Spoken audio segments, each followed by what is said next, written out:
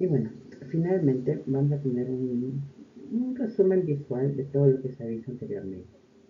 Tenemos que el eh, este algoritmo permite hacer una búsqueda, no importa si es que nuestros datos están ordenados o no, siempre va a tomar el mismo tiempo y el mismo número de pasos. El número de pasos para, para hacer esta búsqueda es logaritmo de n, no importa si los datos están ordenados o no. Y el orden de complejidad, el tiempo de complejidad, siempre va a ser n logaritmo de n. Esto ya se ha visto, ya se ha explicado y esto ya lo sabemos. Sin embargo, intuitivamente sabemos que si es que el, el, conjunto de datos que tenemos en donde vamos a buscar está ordenado de manera normal o de manera inversa, esto sería para nosotros como humanos mucho más fácil de, de lograr la búsqueda del dato que queremos, ya que como están ordenados, más o menos podemos saber por dónde se encuentra este dato.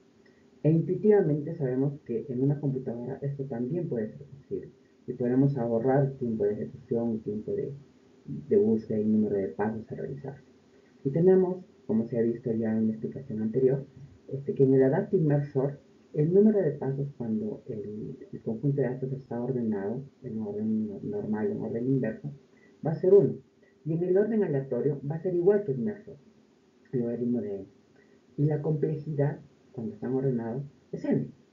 Y el número, eh, bueno, y en, orden aleatorio, nuevamente vamos a ver que se comporta exactamente igual que el merge regular, que va a ser n logaritmo de n.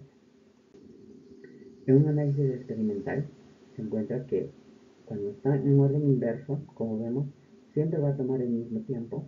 Sin embargo, en el merge normal siempre va a haber un mayor tiempo de acuerdo a la cantidad de datos que tengamos. Mientras más datos tenemos, obviamente el merge va a demorar un poco más. Sin embargo, cuando está en orden aleatorio, vemos que el comportamiento es similar. Eh, esto significa que en el peor caso posible, el Adaptive Merge va a tomar el mismo tiempo computacional que un merge regular. Y bueno, finalmente, cuando están ordenados en el orden requerido, en el orden normal, nuevamente tenemos que dar primer tiene un mucho mejor comportamiento.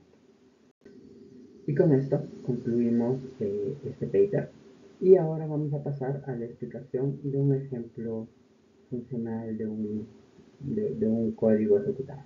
Muchas gracias.